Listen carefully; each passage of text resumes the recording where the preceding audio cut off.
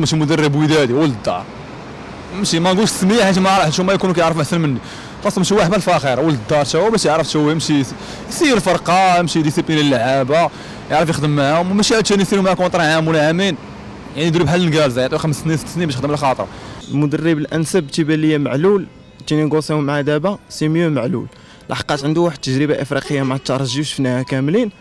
وغيقدر يطور داكشي في الوداد مع انه يكون شي مساعد ديالو اللي ولد الدار اللي, اللي تيفهم في خبايا الوداد وعارف البطولة كيفاش دايرة وعارف. وانا وحنا عارفين ان الوداد العام الجاي مازال مقبل على العصبة الإفريقية العام الجاي. يعني من الأنسب يكون معلول باش يلاه يبني واحد ليكيب من هنا العام الجاي إن شاء الله. بالنسبة للظرفية الحالية هي صعيبة شوية على أي مدرب أجنبي يجي للوداد. أنا كنشوف بأن أحسن مدرب يقدر يكون في الوداد هو مدرب ولد الدار. نقترح فخر الدين رجحي. هو مدرب ديال ديال الظرفية الصعيبة ولد الدار وكيعرف اللعابه وكيعرف العقلية ديال اللاعب المغربي.